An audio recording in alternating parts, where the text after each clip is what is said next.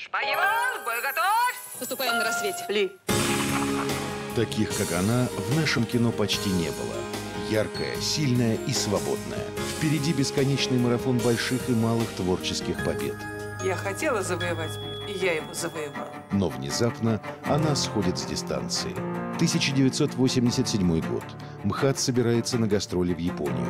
Незадолго до отъезда одна из ведущих актрис, Екатерина Васильева, кладет на стол Олегу Ефремову заявление. И уходит. Из театра, из кино, из своей прежней жизни. По стране ползут слухи. В прессе намекают на какую-то жизненную трагедию, катастрофу. Что еще может заставить актрису покинуть сцену? Но попробуйте представить, что с кем-то, кого вы знаете, случилось чудо. И оно изменило всю его жизнь. А ведь дело было именно в этом. Екатерина Васильева узнала, на что способна любовь. Верить оно должно, сердце не зря дано, сердце любить должно.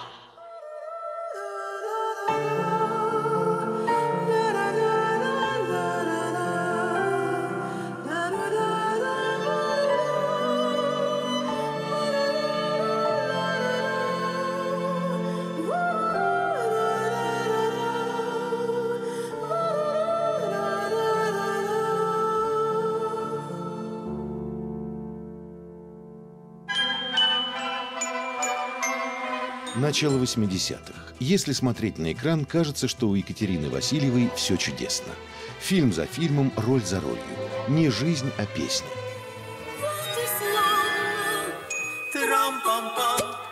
Она называла себя новогодней артисткой. Я, говорит, новогодняя артистка, потому что как только включаешь телевизор под Новый год, по всем каналам идет обязательно что-нибудь с ее участием. Только самые близкие знали, все не так, как кажется. Васильева чувствует себя совершенно опустошенной. Вокруг множество людей, работа в театре и кино с утра до ночи, а пустота не исчезает. Вот пишет. Внутри вакуум. Господи, бывает с людьми такое? Учительница русского языка. Учительница не дама. Что же она изъясняется? Столь замысловато. Человеку свойственно чувствовать, делиться мыслями. Можно почувствовать и вакуум. Можно. Но не нужно. Если ты хочешь быть великим артистом, тут требуется все. Полная отдача, полная, даже трагическая, потому что чем актер э, талантливее и больше играет ролей, тем больше опасность, что он и в своей жизни начинает играть и подчас не знает, где кончается игра и начинается жизнь. И у Кати, у Екатерины Сергеевны были такие периоды в жизни. Пустота внутри – именно то, что испытывает теперь сама Екатерина Васильева. Вакуум в месте, где должна быть душа. Кто-то прекрасно без нее обходится. У кого-то болит, и болит все сильней. Это не так просто сыграть, развлечь людей. В этом есть и пустота очень часто. И нас, конечно, артистов, эта пустота часто уничтожает. Когда все начало рушиться? Может быть, если найти точку разрыва линии жизни, удастся понять, как повернуть назад. 1920 На одном из последних пароходов уплывает из Крыма поручик Виталий Макаренко. Бежал вместе с беременной женой. На вокзале в давке ее унесло людским потоком. Поручик уехал, жена осталась. Больше они никогда не виделись.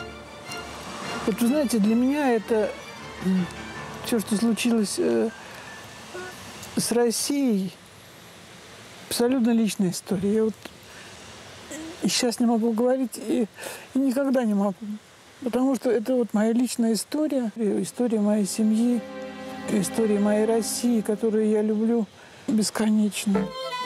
Дочь белогвардейца и эмигранта клеймо на всю жизнь. Другое дело – племянница великого педагога, создателя первой трудовой колонии для малолетних правонарушителей. Антон Семенович Макаренко взял Олимпиаду, дочь своего брата, в свою семью. Олимпиада росла красавицей. В 17 лет приглянулась знаменитому поэту Сергею Васильеву, орденоносцу, лауреату государственной премии. Его песни распевала вся страна. Сколько мною видано, и сколько мною пройдено, и все вокруг советское, и все вокруг мое. Сергей Александрович Васильев, ее папа. 20-летняя Олимпиада пошла добровольцем на фронт.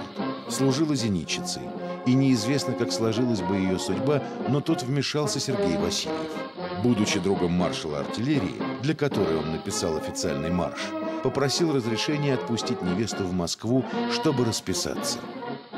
И лично маршал Воронов ему помог это сделать. И он ее увез. А весь полк до одного человека на Курской дуге погиб. В августе 45-го у Олимпиады Макаренко и Сергея Васильева родилась дочь Катя. Поэт ударно работал, и семья жила по советским меркам широко. Машина с водителем, государственная дача, квартира, домработница. Вот только характер у Васильева был тяжелый. Ревновал красавицу жену ко всем лицам мужского пола. Отношения с дочерью простыми не были никогда. Катя очень вообще как бы затаенно и не публично его любила. Хотя она на многое э, э, обижалась э, в связи с мамой, в связи с тем, как он, э, так сказать, вел себя с мамой. А с мамой-то он себя тоже вел, на самом деле, по-всякому, понимаете? Однажды все закончилось. Олимпиада Витальевна забрала детей и ушла от мужа. Из роскошной квартиры в коммуналку. Мама болела. Кате приходилось думать, где подработать. Школьниц на работу не принимали. Смогла устроиться только на почту. Сортировала письма. Вы знаете, она была вот а, актрисой с 15 лет. Это она здесь на сцене Дома ученых. Там была театральная студия. Она уже в 15 лет переиграла весь классический репертуар. И, собственно говоря, слух о ней был еще до того, когда она поступила в Авгик. Катя Васильева с легкостью прошла все три тура в Авгик. Ее талант был неоспорим, но вот внешность несколько необычная. Те, кто сомневался в ее красоте, еще не знали, что внешние данные не самое неординарное в студентке Васильевой. Им еще предстояло узнать ее неординарный характер – я много раз уже слышал, ох, это несносность характера. Очень даже сносный, хороший, покладистый характер. Покладистый, жизнелюбивый, веселый, чудесный характер. Нет, иногда она меня ругала и говорит, не делай так. И достаточно жестко, потому что я, конечно, такой человек, ну, подверженный всяким там истерическим моментам, несмотря на то, что она тоже, она как-то вот держала этот стержень, чтобы так вовремя дать по голове вот, и сказать «нет, не будет этого». Жизнь в Авгике кипела и бурлила круглосуточно. Еще бы, столько творческих личностей, уверенных в своей гениальности. Кате Васильевой в любой затее, в любом споре и в любом обществе полагалось место в самом центре. Вы понимаете, настолько сильная индивидуальность, настолько потрясающая личность, что все равно, кто бы что ни хотел, она все равно была номер один. Понимаете, это было невозможно иначе.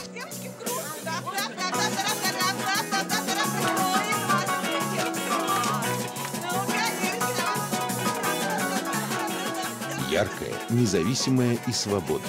Она легко сводила мужчин с ума. Конечно, она привлекала внимание. Ну а как же, не говоря о том, что она была такая длинная, рыжая, с этими глазищами, понимаете, такая вообще совершенно супер женщина просто. И, конечно, она нравилась безумно мужчинам. Вообще говоря, у нее висел в комнате на стене портрет Жана Поля Бельмондо. Я думаю, что это была бы хорошая пара. Я не умею говорить тостом. И... Может быть, Владимир Высоцкий и не умел говорить тостом, но пел уже во весь голос. В том числе и в коммуналке, где жила Катя Васильева. Ее комната стала местом сбора московской богемы. Той самой, попавшей под влияние Запада. Полный набор. Буги-вуги, фильмы Антониони, запрещенная литература. Верная дорога в диссиденты. Ну, это, вы знаете, это вся была компания, вот этот дом. И там был и Никита Михалков, там был и Валя Смирницкий, там были и полно актеров. Мы все жили в этом доме, вы понимаете, каждый вечер практически. То в одной квартире, то в другой квартире, только лифт ездил туда-сюда, туда-сюда. Всем нам по 20 было, 22, 23. Ну что, мы молодые были совершенно люди. Вот жалуются на тебя все. Надо поругать. А не хочется. Не хочется, не надо. Хм. Ишь ты, не хочется, не надо. Это бы легко жить. Да нельзя. А кто мешает? Все. Тебе этого не понять. Ты научи, чтобы я поняла. Чтобы мне не мешали. Этому не научишь. Ступай. Это фрагмент из фильма Сергея Соловьева. 20-летний студент третьего курса был влюблен в Катю, но никаких определенных брачных намерений не имел. Нет, какие брачные намерения? Ни, ни брачных, ни мрачных, никаких намерений у меня не было. У меня жизнь лежала впереди, светлая, чудесная жизнь. Однако вскоре молодому человеку пришлось изменить свои планы. К Екатерине Васильевой пришел свататься студент в ГИКа Эдуард Володарский и был отвергнут. Тогда Эдуард сделал еще одно предложение. «Не хочешь за меня? Выходи за моего друга Сережку Соловьева». «А вот за Соловьева пойду», — ответила Катя. Соловьев в ее представлении был гениален. Она выбрала его за талант. Она ничего не выбирала. Ну что. Выбирающая Катя, это, это вообще... Она вообще никогда в жизни ничего не выбирала. Вот в этом еще Катя номер. Вы думаете, она выбирала тот способ жизни, которым она живет? Нет, не выбирала. Кто они были студентами с Соловьевым, а, однокурсниками практически. Никто не выбирал, он тогда был еще даже не снялся «Станционный смотритель». Актриса Екатерина Васильева стала женой и музой режиссера Сергея Соловьева. Молодые люди семейным бытом себя не утруждали. Ужин – это хлеб и консервы. Я все хотел у тебя спросить. Что если тебе завести здесь роман, а? Зачем мне это надо? Ну, правильно, у тебя же есть муж. Конечно. Почему конечно? Почему я не должна быть мужа? Ты учти, некрасивые женщины лучше устраивают свою жизнь. То, что им дала природа, они берут и сами. Ты красивая женщина. Значит, ты все берешь сама? Ну, конечно, Юра. Ну, а безумный поступок ты могла совершить? Не знаю, не думала. Студенческие браки заключаются часто, а сохраняются редко. Замужество Екатерины Васильевой закончилось через 7 лет. Супруги бурно ссорились, со слезами мирились и, наконец, расстались. Я совершенно ни, ни одной секунды не жалею об этом времени. И я вспоминаю это время с очень большим, вот самое правильное сказать, очень большим интересом. Это было 7 лет счастья, несчастья. Ну, 7 лет полноценной, полнокровной, очень интересной, очень честной жизни. Я думаю, что и для меня, и для Сережи это был уроком жизни. Вот. А любовь, я тебя очень люблю, Сережа. Я сейчас, я сейчас так, так тебя люблю, как никогда не любила. Одиночество – это не то, что угрожало Екатерине Васильевой. Напротив, она влюблялась без памяти и влюбляла в себя людей, самых талантливых и необычных. Катя очаровывала самых изумительных мужчин, которых я видел в этой жизни. Вот они все были, попадали под этот трамвай. Это вообще замечательно, это замечательное свойство. То есть у меня, мне всегда было так э, легко и приятно говорить о своих соперниках, потому что на этом фоне и я как бы, так сказать, ну, я это из этой компании, да, я, ну, даже я там первый толкался. Михаил Рощин. Новая любовь, модный драматург, автор книг и сценариев. Рощин писал смело, остро, был знаком с диссидентами, дружил с Солженицыным. Красивый человек с сильным характером сразу привлек внимание Васильевой. Слава Дон Жуана ее не смущала, так же, как и то обстоятельство, что он был женат и имел детей от разных браков. Ну, для меня самый главный ее мужчина – это, конечно, Миша Рощин. Вся основная дружба наша и с Мишей, и с ней, это пришлось на время их замужества. Он был замечательный совершенно человек, прекрасный, остроумный, легкий, чудесный. И Катя такая же блистательная была. Еще задолго до их встречи Рощин повесил в своем кабинете ее фотографию в красивой шляпке из фильма по рассказам Чехова. Мои воловьи Да разве ж они ваши? Мои. Воловьи лужки наши, они ваши. Нет, мои. Дело в том, что крестьяне дедушки вашего батюшки, как я уже имел честь сказать вам, жгли кирпич для бабушки моей тетушки. Ну, а тетушкина бабушка, она просто, она, она, ну, что ли, она... Дедушка, тетушка, воловьи лужки наши, вот и все. Шляпки ей очень шли. Что-то было в этих шляпках Васильевой волшебное. Во всяком случае, для Михаила Рощина. И не зря, когда они уже были женаты, он засветился в ее фильме. Заменил не пришедшего на утреннюю смену актера, играющего фонарщика. Это была сильная любовь, это была страсть, это было действительно так. Это продолжалось много лет. После блестящего начала в театре Ермоловой Екатерина Васильева ушла в легендарный современник. Оттуда актрису переманивали в свои театры два выдающихся режиссера – Марк Захаров и Олег Ефремов. Она выбрала МХАТ. Перешла туда в 1973 Но Олег Николаевич Ефремов ее, я так думаю, э, как актрису очень ценил и любил. Ну, это это понятно по их жизни.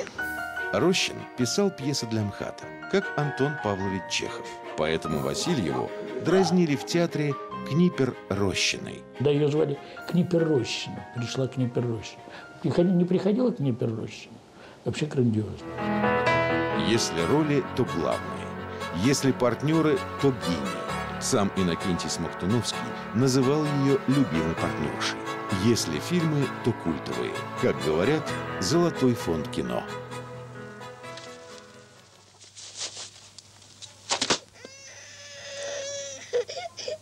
Какого рожна вам надо? Ну какого сахарку вам? Мамаша, надо. Послушайте меня. Вы что, приехали? Зачем вы приехали? Чего вы стоите? Чего вы приехали? Люди! Уходите отсюда. Уйдите, пожалуйста. Ну чего вы стоите? Чего вы приехали? Уйдите, пожалуйста. И заберите, заберите концентраты, заберите, пожалуйста. Ой, Господи, ой, как жить, как жить, Господи. Актриса, она великая, тут даже обсуждать ничего. В актерском мастерстве, там, не знаю, профессии, она знает вообще все. Там, где мы учились, она преподавала. Шикарная артистка, великая, великая. Мы ее так и называли, когда королеву Марго снимали, мы говорили Екатерина Сергеевна Медичи. Иногда я говорю, как ты будешь играть, там, у тебя там давление, давай отменим спектакль. Она говорит, нет, нет, все будет хорошо. И выходит, играет гениально. И, и я так на нее смотрю, и она говорит, поняла, дура. Ее талант обеспечивает ей место под солнцем. Актрисе не приходится за него бороться. Да она и не боролась. Она служит искусству, а не славе. На сцене и в кино она занята делом своей жизни. Ну ради чего идти на смерть? Ради выдумки, предрассудка. Ради пустого места. Ради любви. А где она, любовь? Вы ее видели? Она ее видела. Семейная жизнь с Рощиным была по-своему счастливой.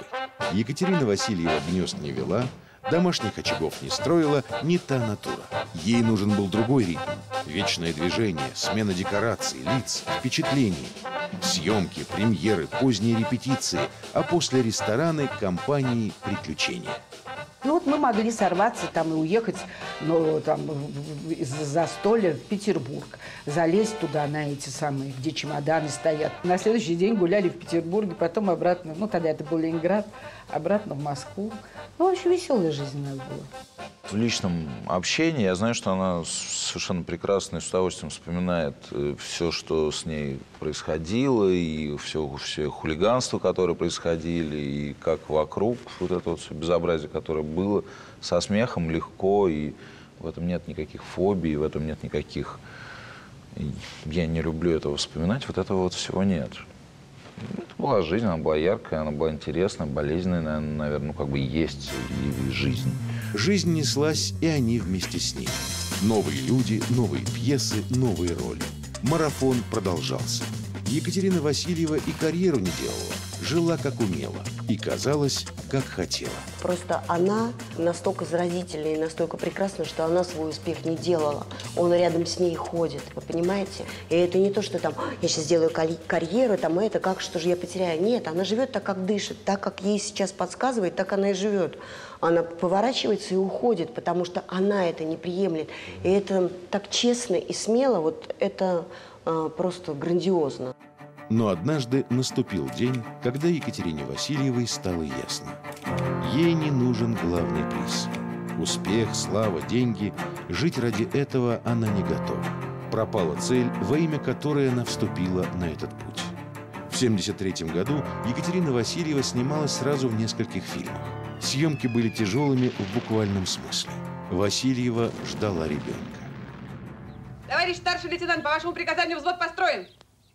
Дорогие бойцы, 8 мая подписан акт о безоговорочной капитуляции германских вооруженных сил. Великая Отечественная война, которую вел советский народ против немецко-фашистских захватчиков, победоносно завершена. Германия разгромлена. Дорогие мои, девочки, война кончилась! Победа! Мир!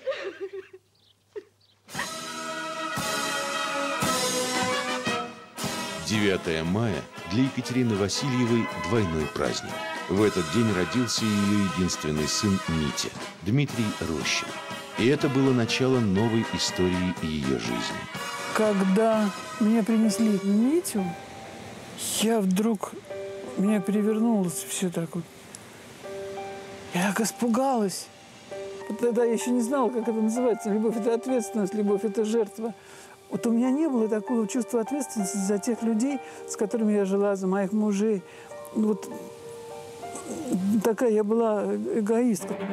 Их брак оказался не для длинной дистанции.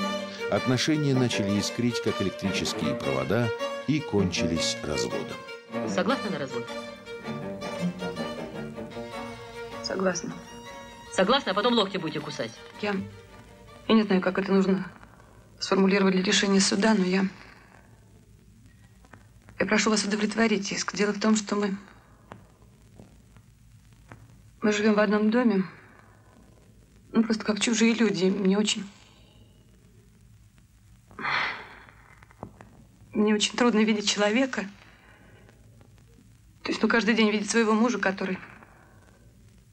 Который любит другую женщину. Просто ради меня я прошу вас решить это дело сейчас, если это возможно, конечно. Ну, это было очень такое, в общем, расставание. Для Кати серьезное, мне кажется. Она страдала. Ну, там какие-то вокруг него женщины без конца крутились. Вы понимаете, ей это надоело в конце концов. Поэтому она с ним рассталась, насколько я вот так понимаю. Через какое-то время, вот да, к сожалению, мы развелись. Это ужасно. Но это, конечно, моя вина. Моя вина непоправимая, мной оплакиваемая и будет оплакиваема всегда, пока я жива, ежедневно, ежечасно. И моя вина перед, перед Мишей, конечно, она, она не, неизгладима. Васильева уходила от мужей по-мужски, оставляя все своим бывшим и сохранив с ними дружеские отношения. Сергей Соловьев продолжал ее снимать в своих фильмах. Только в главных ролях у него были другие актрисы.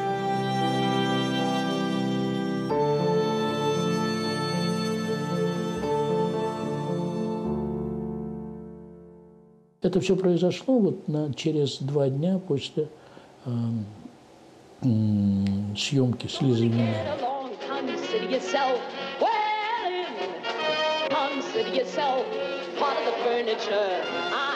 lot На тебя как похоже. Только ты лучше.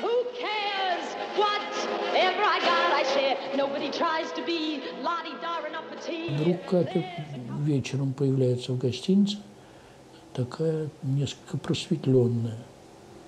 Я говорю, Кать, ты что, прямо как светишься? Ты знаешь, я крестилась. Это было так неожиданно и странно. Это ни неожиданно, ни странно. Екатерина Васильева могла надеяться только на чудо. Без него уже было не выкарабкаться. И она пошла в храм. Пришла измученная, совершенно черная. После крещения священник удивился. Господи, совсем другое лицо. Моя мама, я думаю, что была э, одним из э, начитаннейших людей своего времени.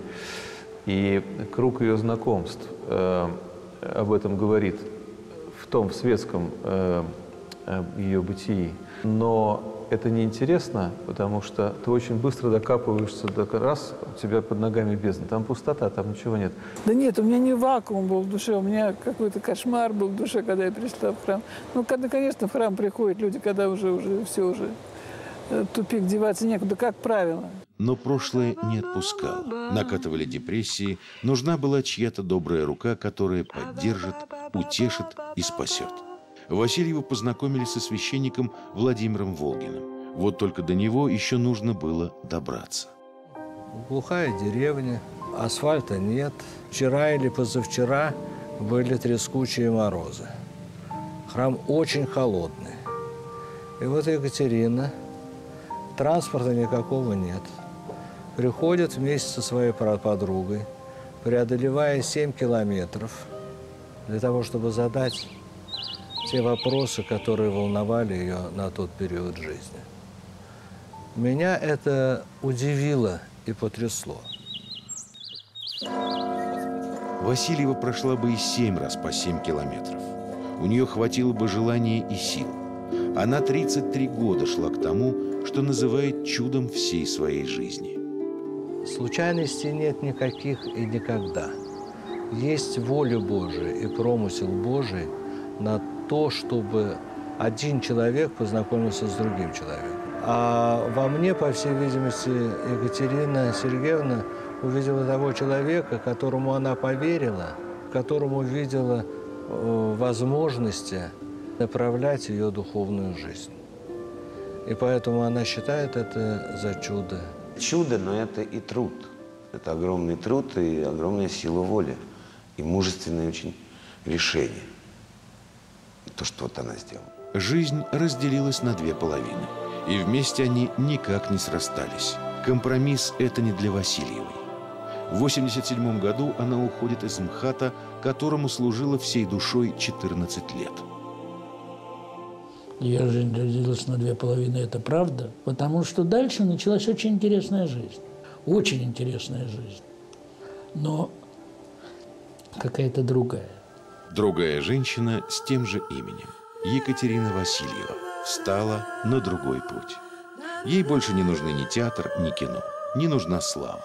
Время, когда она служила искусству, закончилось. У ее души теперь другой хозяин. Двум хозяевам Васильева не служит. Видите, я так легко говорю, люблю. Я потому что, правда, э, мне кажется, что мне кажется, что я э, всех люблю. Вот это же, это, это разница между, между прошлым и будущим. Потому что если это так, только если это так, то это гениально. Любовь, вытеснившая из ее души другие чувства, до сих пор кажется незаслуженным даром. Поэтому Екатерина Васильева не верит себе, боится поверить. Наверное, тогда произошел духовный перелом в Екатерине. И как-то вот обратилась она бесповоротно. Она очень страстный человек. Она страстно, в хорошем смысле, конечно, в высоком смысле этого слова, уверовала в Бога. Благодаря ей я пришла в храм, благодаря ей э, я стала другим человеком и по-другому смотреть на себя, на жизнь, на профессию, э, на детей и на все, что происходит вокруг. Но очень скоро выяснилось, что искусство нуждается в Екатерине Васильевой больше, чем она в нем. Она слишком большая актриса, чтобы можно было без нее обойтись. С Олегом Ефремовым они не разговаривали три года. Ну, ну что, ну поздно. Что, что я могу сказать? Нет Олега Николаевича Ефремова. Ну нет его. Я его не верну. Я его я, я вижу его на экране, я прям кричу, Олег, золотой, любимый, прости, прости, какая была дура. Какие-то качала права, что-то такое выпендрилось. Но однажды Олег Николаевич позвонил сам и сказал, что знаменитый польский режиссер Кшиштоф Зануси хочет пригласить ее в свой спектакль. Никакого сомнения не было, и не было проблема выбора. Это было ясно, что эта актриса для этой актрисы делаем этот спектакль. С одной стороны, огромный профессионализм и огромные знания. Знание уже не профессии, а знание человека. В играх «Женщин» ее увидел Юрий Любимов и позвал на Таганку в спектакль «Электро».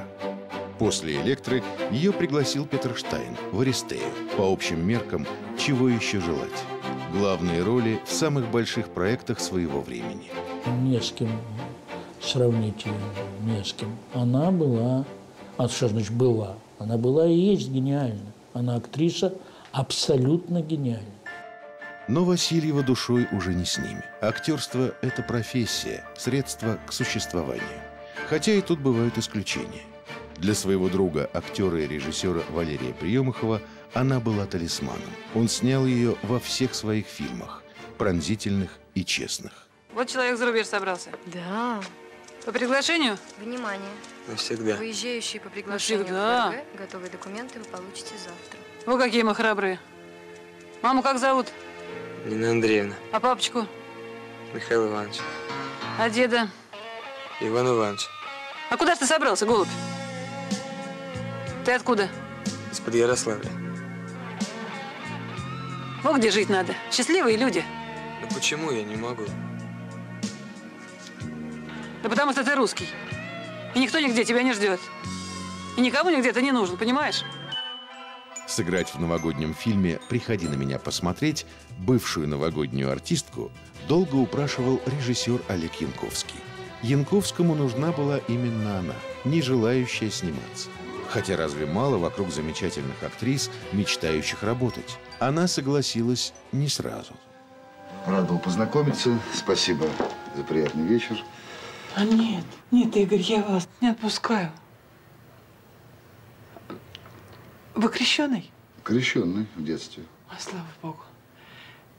Тогда встаньте здесь. Э, Танечка, дай, пожалуйста, икону.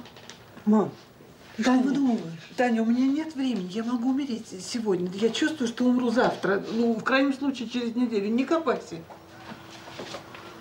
Вот. Ну, что ты копаешься? В- Встань подле Игоря.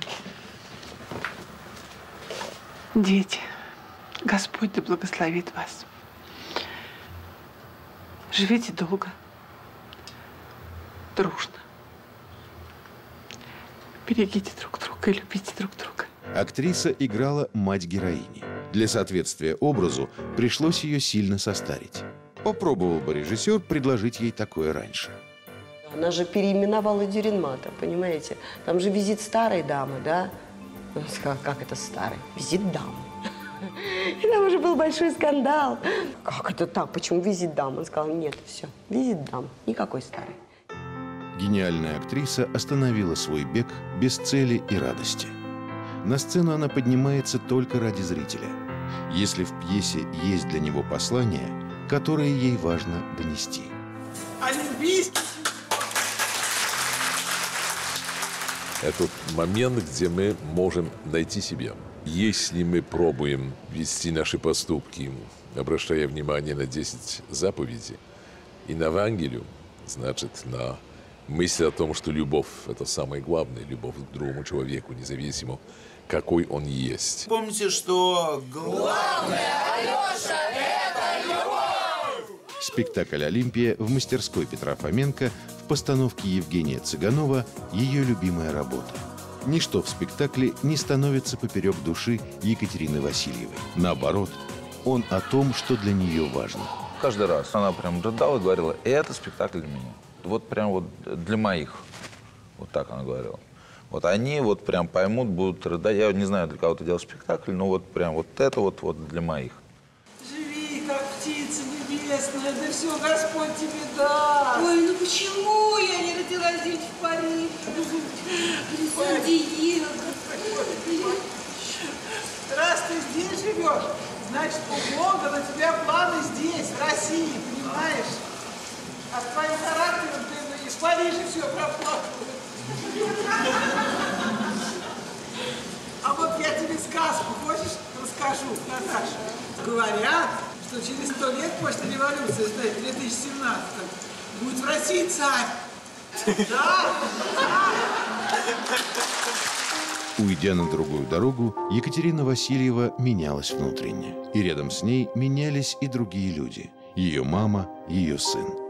Судьба сына тревожила Васильеву. Неужели и для него все пойдет по тому же кругу? Она однажды приехала со своим сыном, и он тоже еще был полностью светским человеком. Но там чувствовалось, что есть огромная чувствительность в том, что я, как католик, назову областью метафизики, значит, чувство тайним. А если кто-то чувствует, что вообще в жизни есть тайнем, он уже близкий вере. Я его, конечно, люблю безумно, как говорят. Я люблю своего сына. Ну, конечно, ненормальная любовь. Конечно, я его достала, наверное, своей любовью, потому что я стараюсь ее скрывать, но это невозможно. Я преклоняюсь перед, перед его жизнью, перед его делами. Я знаю, через что пришлось переступить, от чего отказаться. И я горжусь им. Через что переступила и от чего отказалась Екатерина Сергеевна, знает, наверное, только ее сын. И видит, как важно для нее быть нужной ему, его семье, храму, прихожанам. Это теперь дело ее жизни. И она говорит о себе. В первую очередь, я мать священника. Я всегда понимал э, свою мать, всегда понимал ее очень хорошо. Мы в этом смысле с ней очень чувствуем друг друга. А потом, что такое понимание? А, у кого-то из а, отцов есть такое выражение замечательное. Познаем настолько, насколько любим. Я только учусь любить. Я э, думаю, что какую часть, уж не знаю, там половина, три четверти, одну четверть. Мне кажется, что я была такой страшной эгоисткой. Я с ужасом, знаете, как, как Пушкин пишет, и с отвращением читая жизнь свою. Мне кажется, что до рождения Мити, сына своего, я вообще не знала, что такое любовь. Мне кажется, что я, я искренне влюблялась, там что-то такое, но это была не любовь. Это все было, все, было, все были какие-то игрушки, это была игра.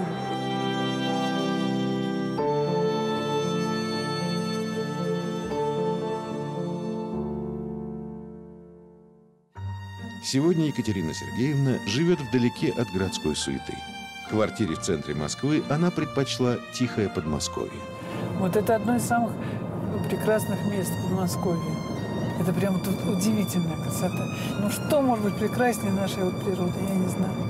Смотрите, чудо какое. Время от времени случаются фильмы, которые становятся для нее по-настоящему важными. Например, «Марафон».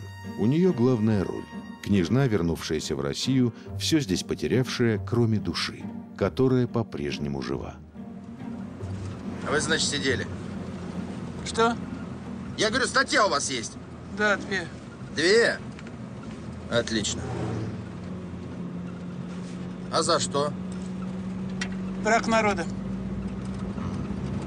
Реабилитировали? По первой, да.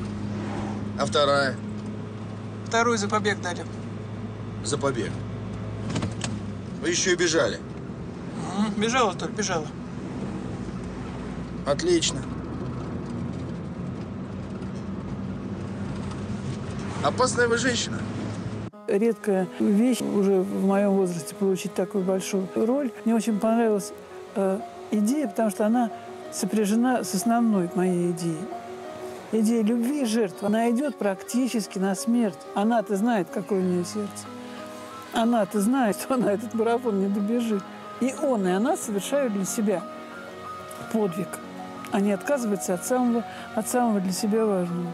И так это незаметно, так это трогательно от того, что э, они не навязывают свои эти подвиги, они просто, они просто совершают их. Это любовь. Вот, а любовь – это жертва. Ее телефон звонит часто. Продюсеры и режиссеры знают, что фамилия Екатерины Васильевой в титрах гарантирует интерес к любой постановке. Зритель, которого не обманешь, пойдет за ней туда, куда она его поведет. Поэтому она долго думает, прежде чем соглашается на работу. И просит благословения у своего духовника. Сыграй только тогда, когда это дает что-то душе человеческой, что это дает зрителю важную какую-то мысль, идею. Я как бы человек идейный, что ли, так скажем. Она очень правдивый человек. Какие-то лажи с ней сразу видны. Они сразу лезут наружу и становится пошло. Она это все видит и чувствует, и она может быть ориентиром. И вот она и есть, наверное, ориентир для многих. Она вынуждена сейчас сниматься в фильмах, но вынуждена для того, чтобы поддерживать свое материальное существование и поддерживать своего сына, отца Дмитрия, который является автором «Восьмерых детей», замечательных детей. И часть своего опыта духовного, воспитания и любви Екатерина передает своим внукам и внучкам. Ты советуешь нам очень хорошие книжки, которые нам нужно прочитать. Вот. И от этого мы становимся мудрее и умнее. Вот. Я их всех достала, чтобы они читали книжки. Достала всех. Но никто не жалуется, правда? Матушка, каких ты детей нарожала замечательных. Это все мои внуки, это все мое достояние. Я стану рабочим. Я стану рабочим. Ты станешь рабочим. Я считаю, что это, это, это заслуживает просто, просто аплодисментов. Я хочу быть солдатом. Представляете, какие люди, какие, какое будущее. Рабочий, солдат, сейчас колхозница, может быть, еще найдем. У нас просто вот, вот что значит православное воспитание. Вот. Мить, ты что говорил, хочу быть кем? Священником. Священником, вот. Храм, сын, невестка, восемь внуков, для которых она родной человек. Разве не чудо, что все это у нее есть?